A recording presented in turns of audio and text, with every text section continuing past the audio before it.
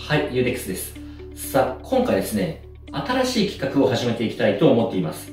それですね、月刊アロエというね、企画を始めていきます。この企画の中身はですね、植物を育てていく中ですごくね、重要なのがね、やはりその管理の仕方、まあ、育て方ですよね。水やりだったり、置き場所であったり、またね、そういった遮光をどうしていくのかとか、まあ、そういったところも含めて、えー、ね、この植物を育てている方はね、いろいろと日々考えて、そういった中で今回ね、この月刊アロエというのは、いくつか、えー、ね、えー、もうアロエの品種を固定して、毎月毎月ね、えー、こういった環境、こういった水やりはこれぐらいのペースでした。で、置き場所はこれぐらいです。で、遮光率は、え、ね、この程度にしましたとか、えー、またこれから梅雨の時期なので、梅雨の時期はね、こういった管理をしていますとか、夏はこういった管理です。っていう感じで、毎月1ヶ月1回ですね、えー、同じこういったタイプのアロエを、えー、皆さんに比較してみていただいて、えあ、こういうね、風に育てると、ね、このね、アロエはこういう風に育つんだとか、そういったね、何か皆さんの育てていく中でヒントになればいいなと思って、この月間アロエというね、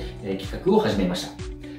なのでね、こう、これからアロエを育ててみようかなというね、初心者の方も含めて、えー、今からね、えー、このアロエブームに乗っかって、またね、僕自身もね、このいろいろなアロエを育てていく中で、こう自分の中でもね、すごくいろんな発見があるので、情報を共有できたらなと思っています。それではね、えー、もしもまだチャンネル登録お勧めでない方はね、ぜひよろしければチャンネル登録してご覧ください。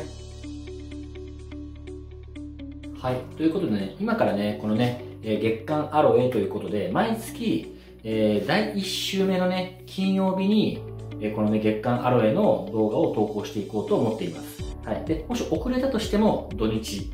第1週目の土日に、えー、投稿されると思っていてください。はい。で、この中でですね、一番大事なのは、え品種が変わってしまうと比較にならないので、同じ品種を毎月、え紹介します。で、えどういった環境で育ったのかっていうのをまずまた皆さんにお知らせしていって、で、えそれぞれの品種が今こういった感じです。で、こういう育て方をしていましたっていうのをね、お知らせするので、その中でね、え皆さんの育てているアロエと何か比較の対象して、え何かヒントになっていただけたら嬉しいと思っています。はい。じゃあまずですね、今回大きく分けて、7品種に分けてみました。7品種です。で、まず1個目から、こういったね、えー、ミキラチタイプ、ラマオシマというね、タイプですが、こういったね、ミキラチタイプもいろいろなね、品種がありますが、今回、このね、えー、大事なのが、このね、えー、どういった環境なのかっていうところなんですけど、ここもね、えー、今ある7品種、統一してないと変なので、えまず、お水やり。お水やりは5日から7日です。5日から7日の間に、えー、なので1週間に1回は、えー、お水やりをしてあげています。またですね、置き場所に関しては、遮光率が、えー、大体ですね、70%ぐらいです。はい。70%ぐらいの遮光の中で管理をしているという感じです。で、もう1点、えー、置き場所に関してはですね、す、えー、べ、てですね、同じ棚の上の上段に置いております。で、1日だいたいこの太陽に、当たる時間が、えー、だいたいね、もう朝8時頃から、えー、夕方の16時頃まで。なので、全体的に1日で8時間、1日で8時間、えー、太陽光に当たっているというところに置いております。で、今からですね、一個一個、えー、見て紹介をしていきます。で、まずですね、こちら、見木立ちタイプの、えー、アロエですね。ラマオシマというね、品種ですが、こちらもね、非常に人気が高いですが、今ね、その環境の中で育った比較、まずです。5月の頭の撮影なんですけど、今こういった感じですね。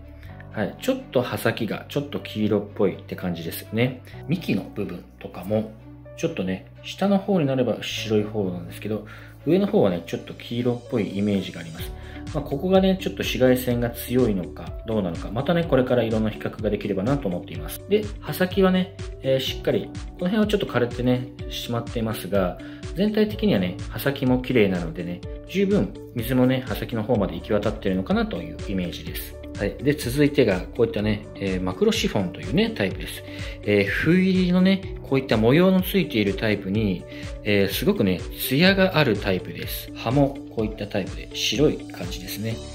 で、今すでにね、え、5月頭の撮影ですが、こういった感じでね、真ん中の成長点からもうね、え、クロロフィルの緑色が強くなってきました。でね、ちょっとまだこの辺はね、変色してるので、まだちょっと冬のね、冬越しの名残がまだ残ってるって感じなんですが、結構ね、しっかりと成長にあたって、こういった変色もね、えー、クロロフィル強くなってきたというイメージです。でね、本当に艶があるのがわかりますかね？こうね、光が反射してると思うので、本当にちょっとね、ハオルチアに近いような、光を反射するようなね、えー、何かこういった機能も持っているのかなという印象を持っています。じゃあ続いてが、先ほどね、えー、ツルツルしていたタイプなんですが、こちらがアロエのハイブリッドですが、こちらがね、えー、ザラザラしています。日本語が、インションが変ですかね。ザラザラしているタイプですね。こういったザラザラしているタイプ、いろいろとね、えー、ハイブリッドでは多いですが、こういったタイプ、ね、結構今赤みを帯びていますが、えー、結構ね、遮光率、こういったね、60、70%のところでも、結構ね、こういったザラザラしているタイプっていうのは、赤みがね、すぐ強く出ます。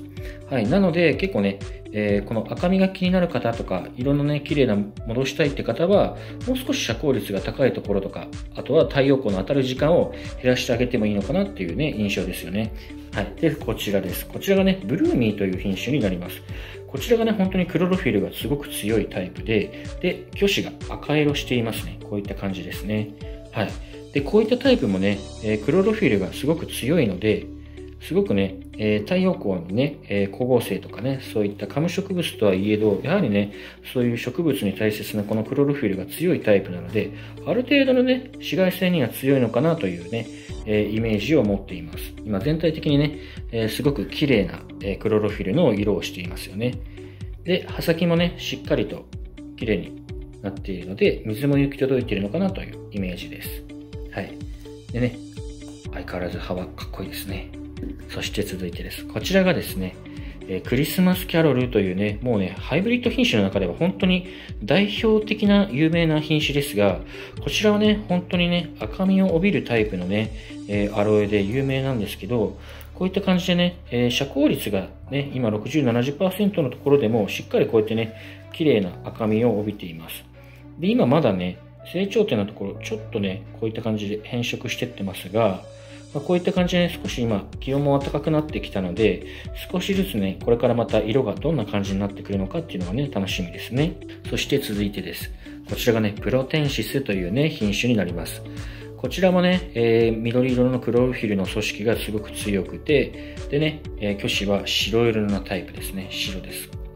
またね、白色もね、すごくね、かっこいいですよね。はい。で、こういった感じで今ね、えー、プラテンシスも今ね、同じような環境なんですが、みんなと。ちょっとね、えー、葉先がね、枯れたりとかしています。お水やりもね、同じペースで上げてるんですが、まあ、これがね、この個体の何か、えー、何か意味合いなのか、それかこの品種によってね、ちょっと多少、遮光のね、えー、何か影響があるのか、お水やりの影響があるのか、またね、ちょっと1ヶ月後どうなっているのかがね、気になっているところです。そして続いてこちらですね。もうね、本当にね、えー、これは本当にね、僕自身が今ね、アロエを育てている中で一番かっこいいと思っているんですが、